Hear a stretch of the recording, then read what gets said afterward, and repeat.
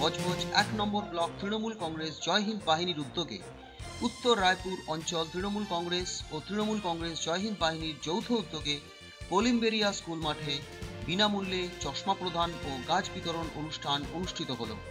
এই অনুষ্ঠানে উপস্থিত ছিলেন সভার বিধায়ক অশোক দেব, দক্ষিণ চব্বিশ পরগনা জেলা তৃণমূল কংগ্রেস জয় হিন্দ বাহিনীর সভাপতি পল্লবকান্তি ঘোষ, দক্ষিণ চব্বিশ পরগনা জেলা তৃণমূল কংগ্রেস জয় হিন্দ বাহিনীর সম্পাদক রবিন গিরি ও আরও নেতা নেতৃবৃন্দ। উক্ত অনুষ্ঠানে সভাপতিত্ব করেন বজবজ এক নম্বর ব্লক তৃণমূল কংগ্রেস জয় হিন্দ বাহিনীর সভাপতি মেজবা খান। এই অনুষ্ঠানে পল্লবকান্তি ঘোষ বলেন, পরিবেশকে দূষণের হাত থেকে রক্ষা করার উদ্দেশ্যে আমাদের এই গাছ বিতরণ অনুষ্ঠান।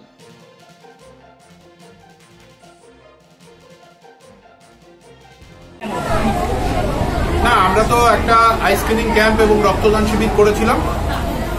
সেই দিনে আমরা ঘোষণা করেছিলাম যাদের চক্ষু পরীক্ষা শিবিরে এসে উপস্থিত হবেন যাদের প্রয়োজন পড়বে চশমা এবং যাদের ছানি অপারেশন আমরা সেটা করে দেবো। এটা আমাদের ঘোষিত প্রোগ্রামই ছিল। রক্তদান শিবিরের যেদিন আমরা আয়োজন করেছিলাম আমাদের একটা মুখ্য এজেন্ডাই ছিল।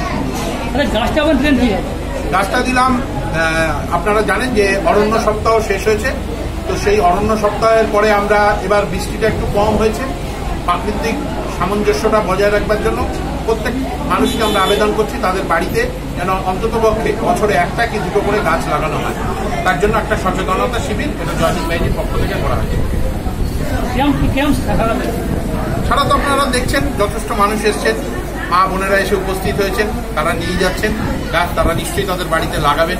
আর একটা গাছকে যেমন একটা সন্তান একটা মাকে একটা মা যেমন একটা সন্তানকে বড় করে আমি মনে করি একটা গাছকে যখন আমরা মাটিতে পুঁতি যখন আস্তে আস্তে জল দিই তাকে একটু সার দিই যখন গাছটা বড় হয় যখন তার ফুল হয় তখন কিন্তু খুব ভালো লাগে। সেই ফুলটা কিন্তু ছিটতে ইচ্ছে করে না।